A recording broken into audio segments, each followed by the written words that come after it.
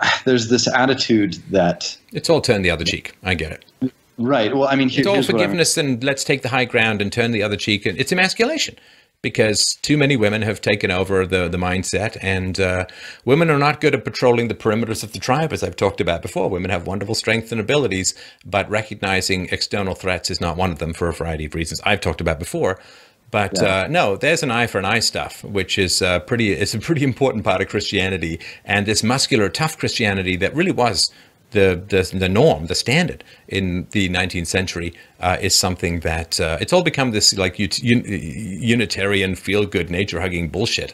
And uh, well, the world is a tough place. And uh, if you don't stand up for yourself, you're going to get uh, plowed under.